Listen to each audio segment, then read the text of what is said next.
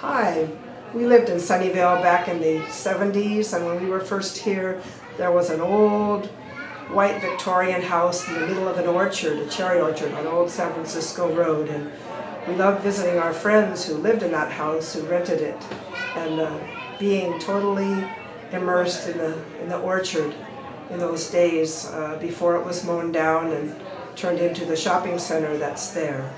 And remember that our friends, when they uh, moved out of the house when the house was torn down were able to take with them some of the windows and doors that were in that old house. it was a great memory. Thanks.